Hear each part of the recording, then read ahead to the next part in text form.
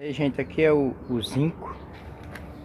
Zinco que eu comprei para fazer as L do meu gerador, né? Ele é 50 por 2,5. E eu quero dividir em quatro para fazer as L's. Que eu cortei depois que eu cortei as folhas de 5, olha aí. Deixei tudo de com com 80 né? Ficou com 78 centímetros, 78 centímetros de, de tamanho. Agora, agora é cortar a madeira, né?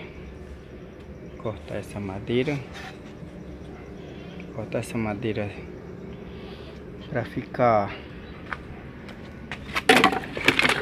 é nesta forma. Para ficar nessa forma para me fazer as pás é e as pás do meu gerador eólico né? Vai ser assim modelo gota d'água. Esse modelo chama-se gota d'água né Aí mostrando aí pra vocês aí como é que tá, né?